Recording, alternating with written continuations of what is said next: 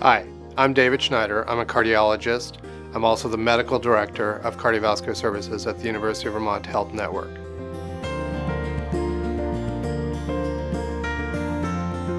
I like fast-paced care, and cardiology has fast-paced care.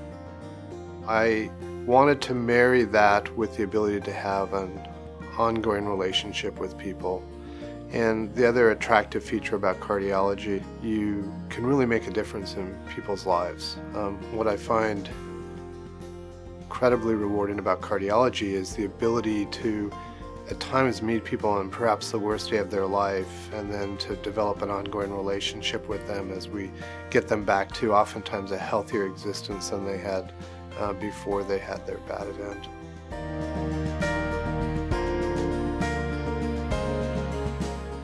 The goal of, for me for a physician-patient relationship is to have a very interactive relationship where um, patients feel empowered to ask all the questions that they have.